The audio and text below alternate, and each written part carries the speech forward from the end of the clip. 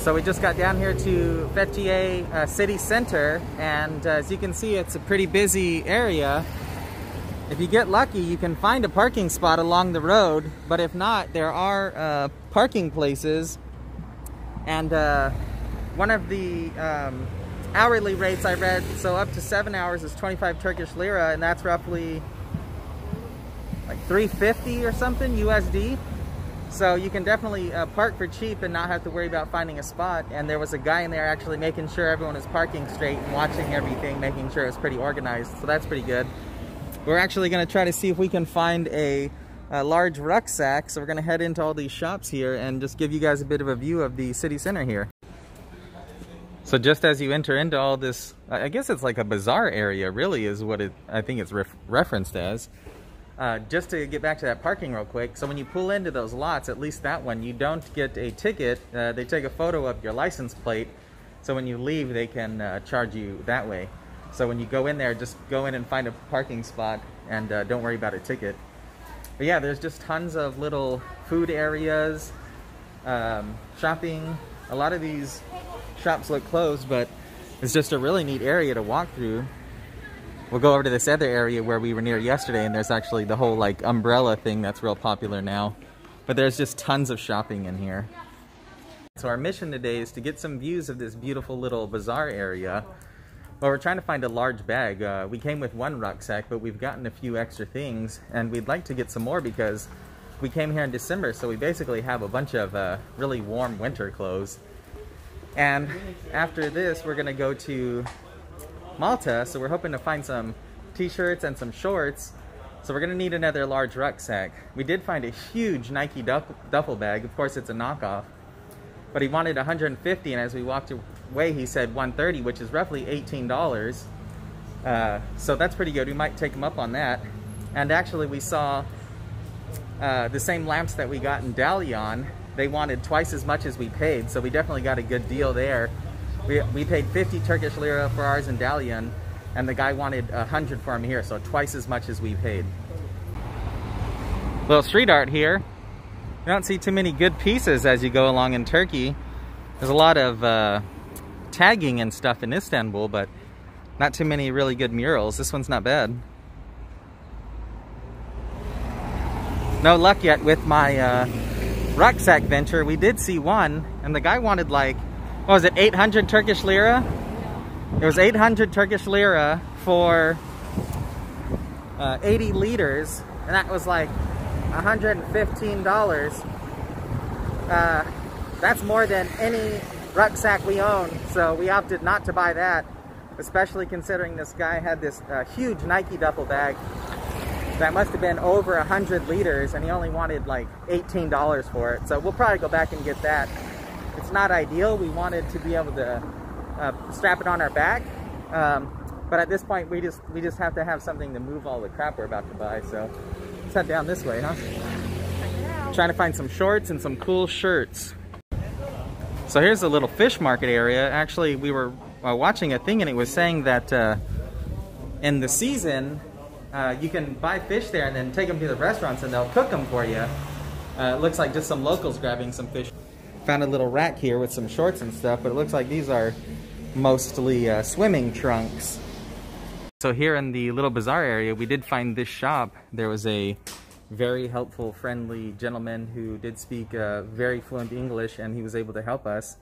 Uh, we ended up getting, uh, Rachel got a couple pair of these shorter gym short type uh, shorts. Just comfies. And the shirt too. I already put it on because I was really hot. Um, and then Here's AJ's loot. I got a couple of uh, short sleeve white t-shirts and then a couple of uh, gym type shorts as well. And total, we paid uh, 65 for, what was that, four, five items? Yeah. Five items, so a little over... No, no, no, no, that's... What do we got? Four, five, six, seven items. Oh, seven items, excuse me. So we paid a little under or around on average $10 per item, which was pretty good. You could probably find better deals, but the guy was very helpful. And, and it's actually, it's kind of hard to find cooler clothes right now. Yeah. Everyone's got all the winter clothes out and It's just the further south we move, the hotter we get. So we're sure. a little bit desperate at this point. So yes, there isn't very much stock as far as shorts go. Everyone has um, sweaters and sweatpants and things like that. So these guys actually had what we needed. So we were able to get them. Uh, check out this tree here. It's freaking far out. So yeah, if you're in the area and you come by this shop and you need some stuff, swing in there. And uh, I'm sure they're going to be getting rid of their winter stock, so that'll probably be marked down here pretty soon. And then come uh, summertime, they'll be with the shorts and the bathing suits and stuff. But uh, I think we got a decent deal. Uh, maybe if we had looked around longer, we would have found a better deal. But I liked the guy, and he was uh, very helpful, so we opted to buy from him. So yeah, it was great for us. So there's different, uh, definitely different quality uh, merchandise as you go along. Some of these shops just have the, uh, you know, the knockoffs, and some of them have uh, name brands, and they're like legitimate, really nice shops. So really, there's something for everyone here. Here's this area I was saying that uh, has the umbrellas, but as you go along, there's just all kinds of different shops and uh, places to eat. It's really neat.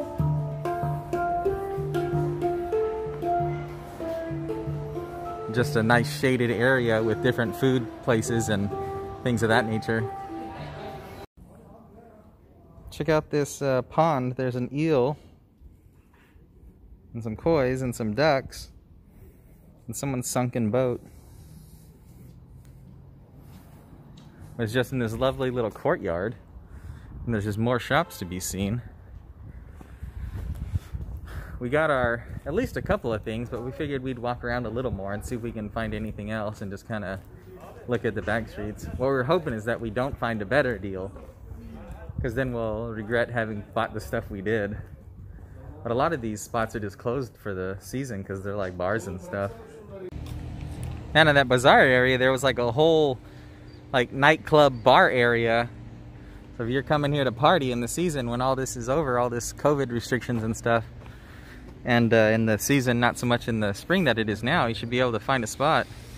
I don't know if this is a very ancient theater. It looks like some of those steps over here are pretty dated, but uh, certainly this stuff is dated. There's like a lapidarium where they're maybe restoring it because it looks like some of this uh, theater stage area is uh, has modern repairs. And that's just here by the coast, just by the sea here, where you have just all of these boat tours. They're like uh, booze cruises and stuff, or you know, island tours and stuff. Some of them I was reading that they'll do like 12 islands, a little 12 island tour. Pretty wicked set of stairs there. So we were just reading about this theater, and it was actually saying that uh, it wasn't discovered until 1995. Basically, this hillside had a guy's home, and he had his home demolished so he could build a larger home. And when he was having the uh, demolition done, they actually discovered some of these ancient stones. So then they started excavating this area and they found the theater here. You can see down there that green machine is a saw. So they're actually cutting these big slabs of stone down here and doing a, a repair or renovation on it. I don't know what they're basing their repairs off of. Maybe the basic shape that they did discover. But it was saying that uh, in the article, the article was written in 2010. It was saying that since the discovery that this place had just become really like a trash dump and a place where a bunch of drunkens hung, hung out. But it looks like now they've actually got it fenced off and it doesn't seem to be the case now. It looks like they're actually putting some work into this to make it into a nice beautiful theater. And then maybe once they've gotten it all restored, they'll do some uh, shows and stuff here, something to that effect. Or just a beautiful view from up on this hill of this area. We're actually probably way back on the other side there. It was about a 20 minute drive for us to come from our Airbnb to over here to the bazaar area. But there's all kinds of little neat streets and stairways you could go up here and explore. So there's certainly uh, no shortage of things to see. All right, so show them what we got. So we just stopped to get some socks, but we ended up finding these shirts, and they're just plain, simple shirts, which is just what we like to wear. Yeah, that's exactly what I wanted at the other store. but they didn't have. But all they had was um, blank shirts with the knockoff logo. So I think I got one that was a Lacoste, and one was uh, like Ralph Lauren or something, you know. And so anyway, these are actually what I wanted, and they were only like between 25 Turkish lira and and 30 uh, Turkish lira a piece, which was significantly less. And then we got um, five, no, six pair of socks. Mm -hmm. So for the six pair of socks and the four shirts, we paid uh, 130, which came out to uh, roughly like $20, I think. So there are better deals to be found. Uh, I really, if I wish I would have found this place first, I wouldn't have bought those other shirts because they ended up being like ten dollars a piece or something. Right, and they weren't like exactly what we wanted. Right, right, right. But they were what the guy had at the time. Like I said, uh, still better prices than you'd get in the U.S. But uh, I could have just bought in like four or five white shirts from this place and saved uh, quite a bit more. So spend some time, look around, and you'll find a deal. Uh, I don't uh, regret buying those shirts from that other guy. Uh, because we, we helped out two shops today and these guys aren't really getting a lot of business right now so I don't mind. As we got our giant uh, Nike duffel bag here, knockoff. It was 150. He gave us a deal for 130. That came out to roughly uh, $18. So now we can fit uh, the lights that we bought for our home in Spain. We got the Turkish lights. We've got our extra clothes. And, and bathrobes. Yeah, we got bathrobes, our jackets that we came with, so we don't have to wear our jackets around our waist because we came to Turkey wearing our jackets but we'll be leaving from Malta, so we don't want to be wearing our jackets. So now we have a big bag, and I think our shopping's done for the day here. We're gonna go walk along the uh, little uh, boardwalk or the uh, beach walk real quick and show you all the tour boats real quick. Some of these uh, boats are pretty impressive. They're huge. We just came across actually next to the parking lot where we parked. There's a nice little park. Comes with the uh, classic uh, Ataturk statue there. Every town has one. Uh, but here uh, we stopped and we added up our uh, totals on, uh, for the day. So we got 18 items while we were shopping in this uh, bazaar uh, shop area. We got four pairs of shorts, seven shirts, six pairs of socks, and our large duffel bag that I just showed. And roughly for all of those 18 items, we paid $100. so uh, not as good as a, of deals as you could find in Istanbul, but we're not in Istanbul and we needed this stuff now. So we were willing to pay and uh, we don't regret it. We got quite a few items, mm -hmm. I mm-hmm. think, huh? Mm -hmm. So we're gonna go over here. Actually, they have a pay restroom. So if you're in the area and you need to go to the bathroom, there's pay area uh, restrooms along the way. And uh, then we'll head over and show you a bit of this uh, coastline. Yeah, this park's actually pretty nice. It has this neat little uh, I don't know if this is an actual little bit of river that flows through Fethiye down to the sea, but there's a few people in here just hanging out with their buddies, having a little picnic and stuff. But it's a beautiful little space to come uh, escape the heat in the summertime, or now if you're just walking around shopping, come take a load off your feet. Is that some sage? It is. Oh, rosemary. Rosemary, and it's in bloom. It smells wonderful. Nice. So yeah, just a beautiful area here. And then there's a fountain that I'm sure is uh, really awesome in the summertime there. Okay, so a quick bit of information so you're aware. Uh, carry your single Turkish lira coins with you. Uh, they'll be good for things like uh, using the restroom. I've actually held on to all of ours just for the bathroom. And this one in particular at this park uh, was one Turkish lira, which is really good. Usually it's like one and a half to two. And one Turkish lira uh, with today's conversion is roughly 14 cents so that's pretty good if you need to use the bathroom especially if you're over here having a beer or some coffee or something and you're walking around for a few hours. 14 cents to use the bathroom that's pretty doable. Rest in peace Donatello. Your bow staff skills will be missed. Well here's all these uh, tour boats I was telling you. They go as far as the eye can see and they just stretch along this awesome boardwalk. There's a nice bike lane right in the middle here and then there's a walk lane for pedestrians as well and it goes down quite a ways and then there's all these uh, restaurants and stuff which are of course closed right now uh, not only because it's the off season but also because of COVID restrictions there just isn't a lot of business right now but some of these uh, boats are getting fixed up. It looks like people are out here working on the wood or they're just relaxing on the boats because, you know, maybe some of these people are just uh, tourists themselves that have docked here. Um, we walked by the other day and some people were having dinner on their boat. But there's just tons and tons of excursions to be had.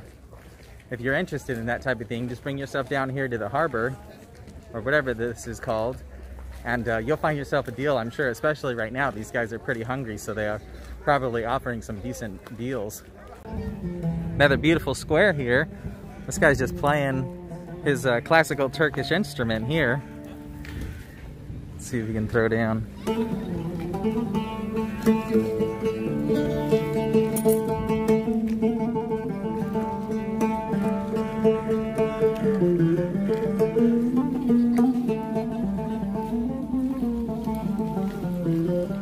Beautiful little scene here along the uh, walkway. Get a better view out into the Mediterranean there. So here's the classic uh, tourism sign here. Just there, Fethiye. But uh, just across there is a music academy. And also something else I've noticed a couple times while we were here is, see this sign over here, it actually has sign language, the alphabet in sign language. It's uh, pretty curious. I'm not sure why they have those, but it's very interesting. And here's a view of that square. You can see there's a, I think that's another statue of Ataturk there. And there's a big obelisk over on that far end. Let's go see what that's all about.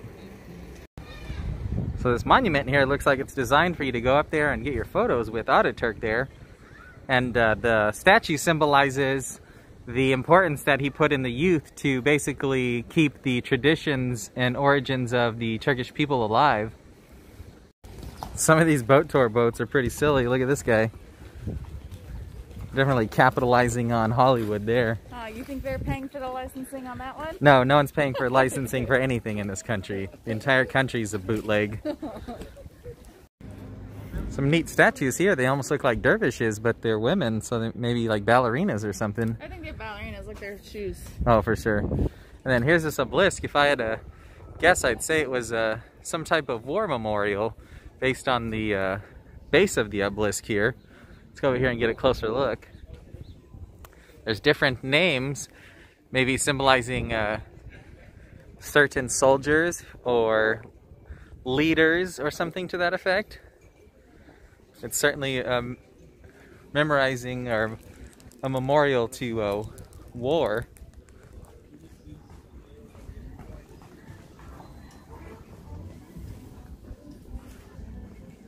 different symbolism as we go around.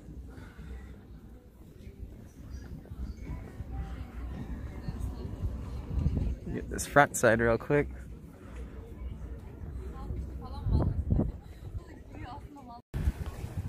So if you walk along this beach walk just a bit past all the boats, it really opens up and uh, you can actually see the sea instead of just all those boats piled on top of each other. And there's actually all types of little uh, like shader model uh, excuse me, shade ramada, like picnic type areas. And it just goes and goes and goes for quite a while, actually. It goes so far that uh, it gets to a point where they're doing uh, construction and they're, the roads are all torn up and they're actually redoing it all. So it looks like they're investing some money back into some portions of the uh, seafront here to really boost, uh, you know, the scene for everybody. It's quite nice. We'll walk over here to the edge and uh, give you a view out of the sea here the water is a little um, uh, murky over in this area, but there's a bit a larger river that flows out from uh, inland to here. So it's not exactly as uh, crystal clear as you would see it in some other points of the Mediterranean. But it's a beautiful area, it's a beautiful view. The sea walk, like I said, just goes on for a while. So if you're wanting to come stretch your legs and uh, get some exercise and grab some ice cream or a drink or some snacks as you go, this is certainly the area to do it. I think we're gonna head back now and see if we can get our bag packed up and see how much room we got. But thanks for coming along, guys. We'll be here for a few more days. So if you're curious, I think we're gonna check out this little castle that's up here too, so stay tuned to our channel.